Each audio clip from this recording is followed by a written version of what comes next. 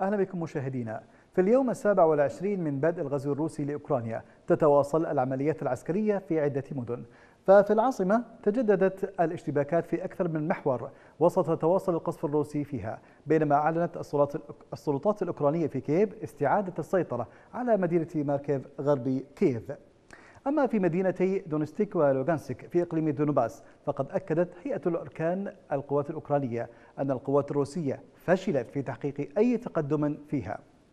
وفي ميكولايف جنوبي البلاد أكدت هيئة الطوارئ الأوكرانية مقتل ثلاثة مدنيين بقصف روسي على محطة وقود.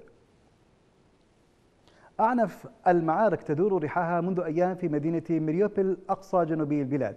وبينما تقول موسكو أنها سيطرت على 50% من المدينة تؤكد أوكرانيا أنها لن تسلم المدينة بأي ثمن على الرغم من تدميرها بالكامل.